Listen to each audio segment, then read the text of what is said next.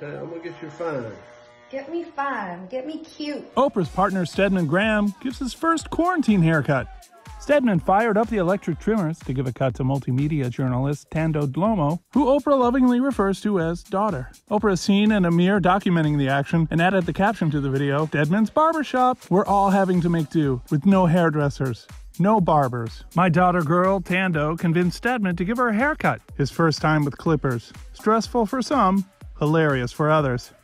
Thando was clearly in the stressful camp as she started to question Stedman's skills, and Oprah was loving it. Uncle Would you Stedman, keep your head still, girl? I'm not moving. I just Oh, want you to move. know the importance of the side is very important. you keep your head still? Well, you can talk without moving your head. Okay, I'm not moving. Stop moving your arms and stop moving your head. And just when Thando's nerves seemed to be put at ease, Oprah gets her riled up again. okay, Okay. Oh, cool, it looks better already. Does Be it? cool. Yes. I wouldn't say better. I What? think that's different. Okay. Don't play like that. That's not funny.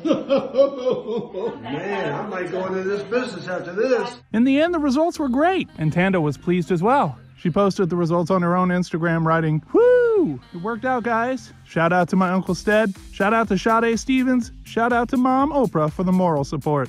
Lesson of the day trust the process.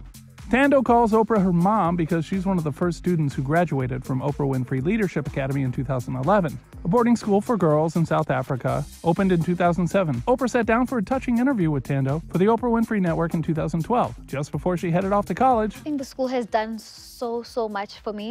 Um, People always ask me at home, you know, what are you doing? How's it helping being there? Do you, do you see yourself growing in any way?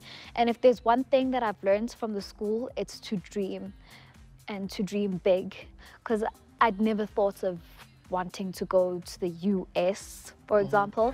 And Oprah is reconnecting with her longtime love, Stedman, after he was quarantined in the couple's guest house. The 66 year old media mogul opened up to Oprah Magazine director Arianna Davis about their decision to self quarantine for two weeks. Turns out it was to protect his lady who had a pre existing health condition. Stedman is um, at the guest house because um, you all know I had pneumonia earlier, late last year. And you can Right, still hear the raspiness in my throat sometimes when I talk. And um, I had just gotten off of antibiotics last week because I had like a, an, in- a bronchial infection. And so he'd been on planes, he'd been on all this. And I was like, um, so Stedman's like, what's the procedure for coming home? The procedure is. The procedure is you going in the guest house. The procedure is you ain't coming and sleeping in my bed. and literally, literally, Arianna, he goes, I'm not. I go, oh no, no, no, no, no, no, no. It doesn't work that way. Have you not been paying attention to the news? I, I, social distancing doesn't mean you're going to go sleep in the bed with the person. when you when you have just got off American Airlines